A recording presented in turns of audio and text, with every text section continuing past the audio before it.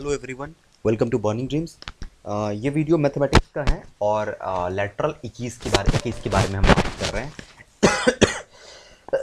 Sorry सबसे पहले हम लोग uh, वो करेंगे सिलेबस एनालिसिस करेंगे। और जैसा कि हम बता रहे हैं कि सिलेबस लगभग लगभग सबको पता होगा।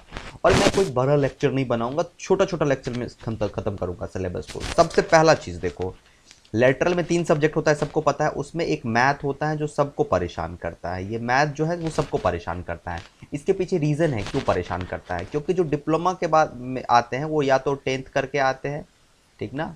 या फिर जो बच्चे ट्वेल्थ करके भी आते हैं ना, उसका ट्वेल्थ में उतना अच्छा मैथ नहीं रहता है। वो आईआईटी लेवल का मैथ नहीं पढ़ता है, ठीक ना? तो उसका मतलब इसका मतलब हम ये कह सकते हैं कि मैथ तो उसका वैसे भी वीक है। अब उस वीक मैथ में अगर हमारा लेटरल का सिलेबस में मैथ है तो उसको कवर करना बड़ा ही मुश्किल होता है। लेकिन नहीं होगा मुश्किल अब। थोड़ा सा अच्छे से समझते हैं, बिल्कुल मुश्किल नहीं होगा। समझना ध्यान से।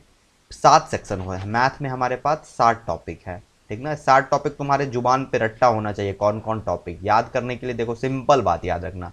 साठ टॉपिक पहला हमारे पास है सॉलिड ठीक ना? सॉलिड ज्योमेट्री कैलकुलस का ये भी टॉपिक है टेंशन मतलब ना। सॉलिड इसमें भी कैलकुलस का काम पड़ता है। सॉलिड है।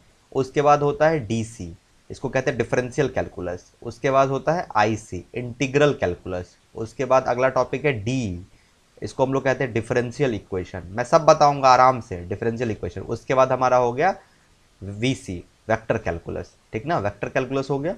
और उसके बाद एक टॉपिक हमारा है, जिसमें हम लोग लीनियर एल्जेब्रा कह सकते हैं। लीनियर एल्जेब्रा जिसमें मैट्रिक्स डिटर्मिनेंट आते हैं। ठीक ना? मैट्रिक्स एंड डिटर्मिनाट और एक सबसे लास्ट टॉपिक होता है, जिसको हम लोग कहते हैं फूडियर सीरीज़ कह सकते हैं एफ़ एस फूडियर सीरीज़ कह सकते हैं। अब देखो, ध्यान से समझना। ये तो टॉपिक हो गया, लेकिन ध्यान से समझना कि इसको पढ़ने के लिए तुम्हें इंटीग्रल अप्रोच अपनाना पड़ेगा। अगर इंटीग्रल अप्रोच नहीं अपनाओगे, तुम्हें मैथ हमेशा परेशान करेगा। और कोई बच्चा बोलता है, सर मैथ छोड़ देते हैं तो छोड़ के कोई फ़ायदा नहीं है, दोस्त। छोड़ने से कोई फ़ायदा नहीं, तुम्हें पढ़ना पड़ेगा। You have to understand this is your core part this is your core this is core part of your syllabus and your preparation so you must need to understand basic mathematics तुम भाग नहीं सकते, आगे पढ़ना ही पड़ेगा। Gate करोगे तो मैथ पढ़ना ही पड़ेगा। अब देखो इंटीग्रल अप्रोच क्या करते हैं? ये देखो, ये बिल्कुल एक अलग है। इसको इस सबसे मत ऐड करो। तो इसको पढ़ने का एक अलग अप्रोच है जो मैं बता रहा हूँ। देखो, इसमें भी दो टॉपिक आ गए। मान लेते हैं, एक हो गया टू डायमेंशनल और एक हो गया थ्री डायमेंशनल ठीक ना?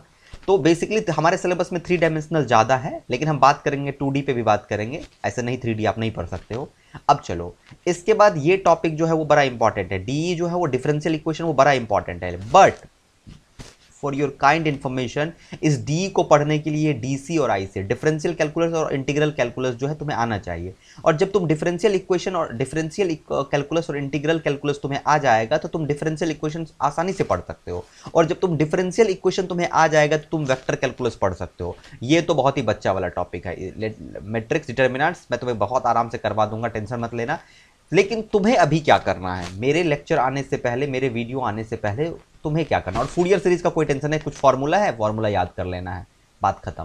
देखो, मैं जो लेक्चर दूँगा, वो तो दूँगा ही। उससे पहले तुम्हें क्या करना है, समझना।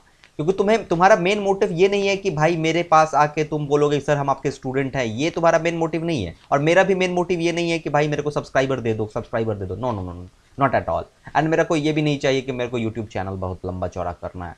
I am here just only for you and it's it it's your responsibility कि जो मैं कह रहा हूँ वो करो। ओके okay, पहला काम तुम्हें क्या करना है? मैथ के लिए एलेवेंथ और ट्वेल्थ का बुक लो। ठीक ना? एलेवेंथ और ट्वेल्थ का बुक अवेलेबल करो। इसका कैलकुलस पढ़ जाओ। पहला काम है कैलकुलस इसका पढ़ जाना जिसमें कि एलेवेंथ में तुम्हें डिफ्रेंसिएशन मिलेगा। ठीक ना? और ट्वेल्थ के बुक एलेवेंथ के बुक में तुम्हें डिफ्रेंसिएशन मिलेगा और ट्वेल्थ के बुक में इंटीग्रेशन मिलेगा। ठीक ना?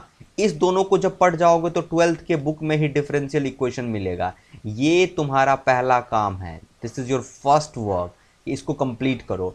और बहुत ही बेसिक कंप्लीट करो, क्योंकि अभी सिलेबस में मत देखना। तुम्हें इसको पढ़ने से तुम्हारा एंट्रेंस का क्वेश्चन नहीं बनेगा, लेकिन ये ज़रूरी है। मैं बार बार कह रहा हूँ, ये ज़रूरी है। इसके पढ़ने से इंट्रेंस का क्वेश्चन नहीं बनेगा, लेकिन फिर भी ये ज़रूरी है। क्योंकि ये नहीं पढ़ोगे तो इंट्रेंस का क्वेश्चन ही नहीं बनेगा। ये बेस है। So you must need to understand what's your base you must need to uplift your base because on the base on the you know ना, जो रूट होते हैं किसी भी चीज़ का, उसी के ऊपर में छत बनते हैं। तो रूट तुम बनाओगे कैलकुलस 11 12 से पढ़ोगे, ढेर सारा वीडियो लेक्चर अवेलेबल है यूट्यूब पे, जो कि 11 12 का मैथमेटिक्स पढ़ाया हुआ है।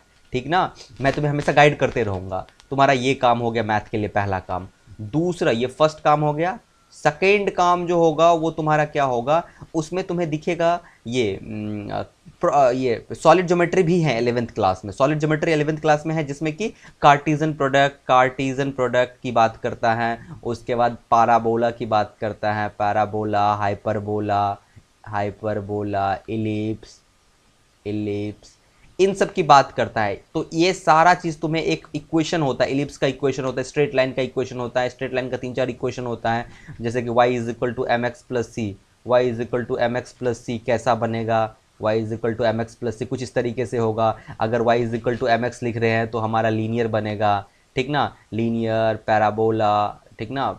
यूँ करके फिर नीचे वाला हाइपरबोला बहुत सारा होता है इलिप्स हो गया एलिप्स में तुम्हारा क्या होगा? ये हमारा मेजर एक्सिस, माइनर एक्सिस आता है, यहाँ पे सेंट्रॉइड हुआ, फिर इसके बाद ये सारा तुम्हें पढ़ना है। एलेवेंथ के बुक में ये सब होगा पहले। तो ये बेसिक जब तुम्हारा क्लियर हो जाएगा, ठीक? जब तुम्हारा ये दो चीज़ हो गया, तब तुम उसी एलेवेंथ या ट्वेल्थ के बुक में तुम्हें मिलेगा मैट्रिक्स और डिटर्मिनाट्स, ठीक ना? मैट्रिक्स और डिटर्मिनाट्स। डिटर्मिनांट्स। बस तुम्हारा इतना काम है कि ये जो तीन टॉपिक मैंने बताया कैलकुलस जिसमें कि तुम्हारा इंटीग्रेशन डिफरेंशिएशन और डिफरेंशियल इक्वेशन तीन चीज़ हो गया कैलकुलस में।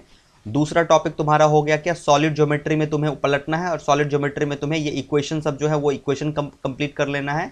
और तीसरा काम मैट्रिक्स और डिटर्मिनांट्स तुम्हें पढ़ लेना है। ये तीन काम तुम विद इन दस दिन से पंद्रह दिन पंद्रह दिन के अंदर फिफ्टीन डेज़ टारगेट रखो। तुम्हारा टारगेट है कि पंद्रह दिन में ये सारा काम कंप्लीट करना है मैथ का। ये बेसिक काम, दिन रात एक कर दो, लेकिन ये काम कर लो, क्योंकि ये हो जाएगा ना एक बार। तब जब हम ऊपर में इसके, ये हमारा बेस हो जाएगा।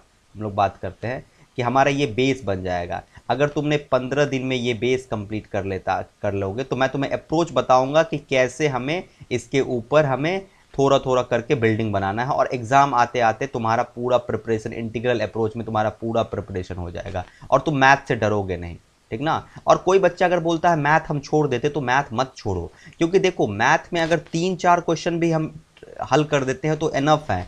तो मैकेनिक्स के भरोसे रिज़ल्ट नहीं तय कर सकते हो कि भैया सिर्फ़ मैकेनिक्स पढ़ के हम रिज़ल्ट ले आएँगे।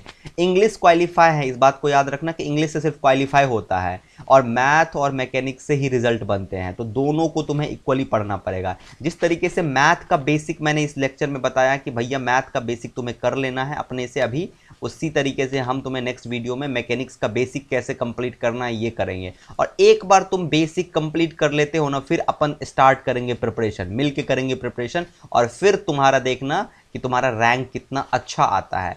तो इसीलिए बेस्ट विशेष तुम सबको, जितना मैंने बताया उसको कंप्लीट करो और टेंशन मत लेना एग्ज़ाम हो जाएगा और मैथ को मत छोड़ना। अच्छा बहुत इंपॉर्टेंट सब्जेक्ट है मैथ ठीक ना? तो अब देखते हैं नेक्स्ट वीडियो में मिलते हैं। Thank you bye bye